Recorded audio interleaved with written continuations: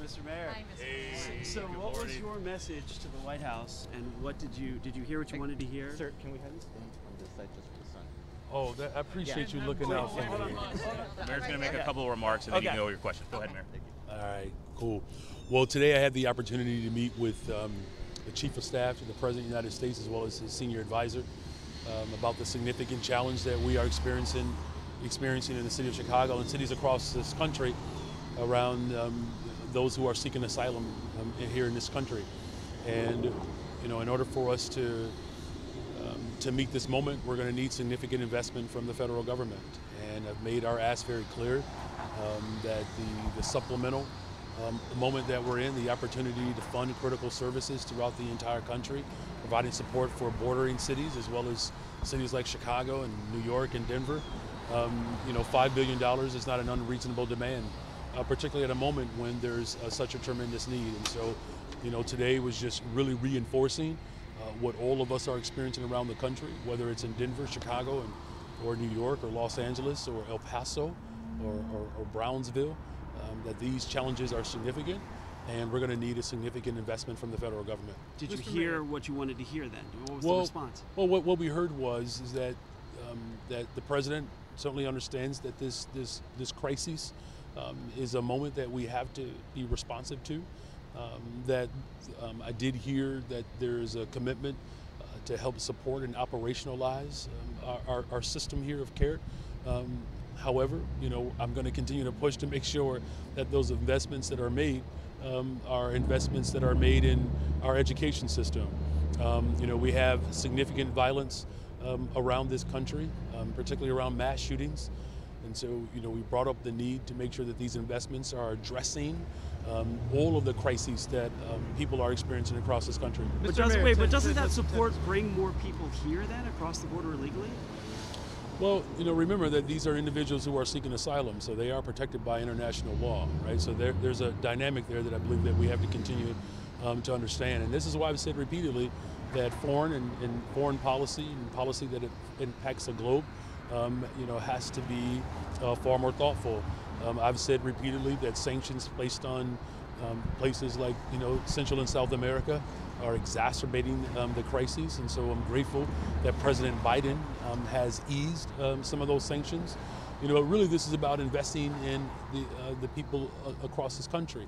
Look, the, the the needs that exist in San Antonio, particularly around education and housing, are the needs that exist in places like Chicago, like education and supporting our neighborhoods that have been riddled with violence, right? So, um, as much as we need um, a, real operational approach, as well as uh, Congress uh, to come up with sensible policy, we need investments that will help our cities thrive. And being here with uh, Mayor Mike Johnston from from um, from Denver has certainly been supportive, and you know Mayor Eric Adams has had to deal with this challenge um, for for some time.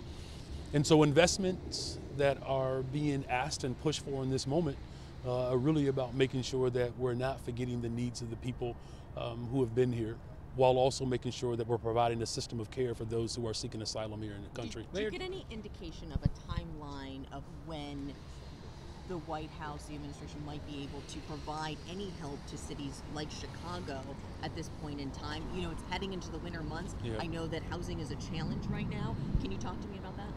Yeah, look, there is a, a there's a short window here, as I said, speaking with the chief, um, with President Biden's chief of staff, as well as his senior his senior advisor. Um, within the next couple of weeks, we have to get something done, and so, you know, we're going to continue to do our part to push our allies, uh, not just in the state of Illinois, but around the country. Uh, along with uh, Mayor Johnston is, is with me today as well, uh, Mayor Johnston and uh, we're going to continue to, to, to work together to, to challenge our allies on both sides of the aisle, Democrats and Republicans, um, to, to put forth these investments um, with, with expediency. And so, you know, the, the short window that we have right here um, is why there's such an urgency on, on, on my part as well as Mayor Johnston's part. Mayor Johnson, um, Ted Hesson with Reuters. Thank you for coming out here today. You're welcome. I, I wanted to ask you. Uh, we've seen videos of people sleeping in tents on the streets of Chicago, and um, you all have seen this coming for some time, right? You've known that the temperatures are going to get cold, and is there a reason that there isn't some sort of temporary shelter set up in Chicago yet where you can house people? There are temporary shelters that we've set up. In fact, since I've been mayor, I've been mayor for five months. I've set up a new shelter every single week.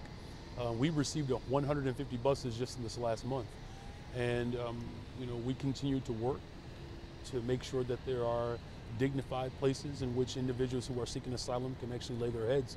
Um, but again, this is why it's going to require the full force of government at every single level to, to intervene here. Uh, look, 150 buses alone have showed up since the month in the month of October. Since I've been in office, we've had over 350 buses just show up in this short period of time. And so, as we continue to stand up uh, more shelters, um, we're going to need the federal government to lean in to help provide the support for the people who are seeking asylum here. Can you tell us if you're going to actually use the Shuttered Museum, the of Broadcast Communications in your city, to house some asylum seekers? Well, we're looking at a variety of sites, you know, and my administration has been assessing sites across the city since I've been in office. Now, look, this is an international dynamic that we're dealing with, and it really requires it really requires um, a federal response.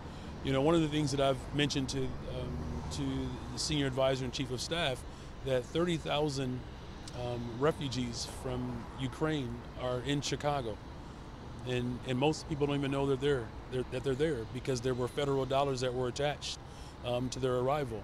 Um, so we have to ask ourselves what's different about those who were, you know, seeking uh, refuge in this country from the Ukraine versus those individuals who are seeking asylum from Venezuela.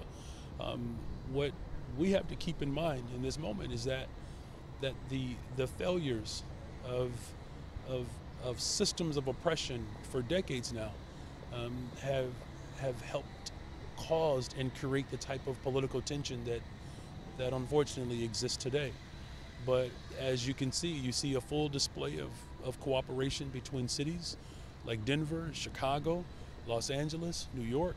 Um, we're all very much committed to use our space in this moment to meet the needs of, of all of our residents. And so, you know, Mayor Johnston is, is enrolling students um, in his public education system. I'm enrolling students in our, in our public education system.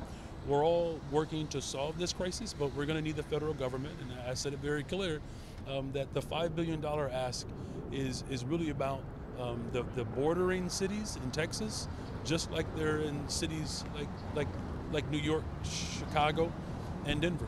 So, Mayor Johnson, I wanted to ask you, you know, quickly. Uh, Yeah. what- do you think this money, this extra money that, that you're, you guys are hoping for and getting, will it just bring more people though across the border, southern border illegally, into your cities? Yeah, we've not seen that. I think first of all, we did say we're grateful for a couple of key points of progress. One is, yeah, this funding package is going to be critical at the 1.4 billion. There's still more need that Mayor Johnson described. Also, really grateful for the push on work authorization. Things like Venezuelans pre 731 who get access to work authorization. I mean, the the crisis we have in our city is we'll have people who arrive every day who I'll sit down with newcomers, and the first thing they'll ask me is, how can I get a job? All I want is, is, is a place to work.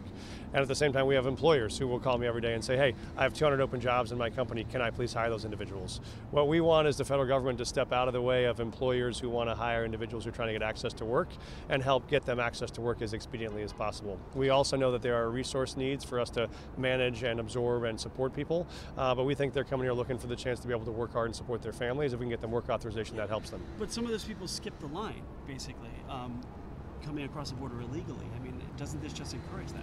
Yeah, we believe you know the Congress and the President are going to decide what they want the entrance policies to be. Our belief is that whatever entrance policy they decide on, that entrance policy should come with the ability to work when you arrive. The last thing we want is for folks to have come 2,000 miles and fought as hard as they can to get here, and then arrive in the U.S. and us tell you, please, please, please, whatever you do, don't work. Uh, what we want you to do is is to work. They do want to work, but we also have to have the financial supports to be able to make sure we can successfully integrate them. And as the mayor said, when we brought Afghanistan refugees to the United States, we were very successful in partnering with cities, collaborating, making sure they have found a place to succeed. Same with the Ukrainians who've arrived. We know there's a way for the country to do this in a collaborative, coordinated way, and we want to be a part of the solution. Did you you hear what you needed to hear?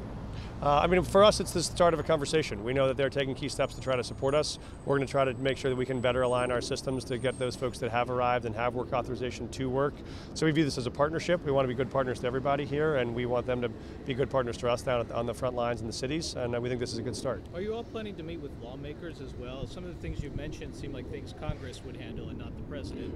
And uh, as we know, in the last few weeks, the House of Representatives has spent time in disarray and without leadership. So Yeah. I wonder if you put some of the blame there and think they should be taking action. Yeah, we are, we are delighted to have a conversation with the White House. We're also meeting with leaders from the House and the Senate today as well to talk to kind of all three uh, parts of this puzzle to say we think there's a lot to be done on the legislative side and we want to make sure they're both supportive of the of the resources the president has laid out now and what we know is going to be more resources that will be required We're going on our way forward. there right now too. Thank you all very Yeah. much. Thank you. Great to see you all. Thank you. Last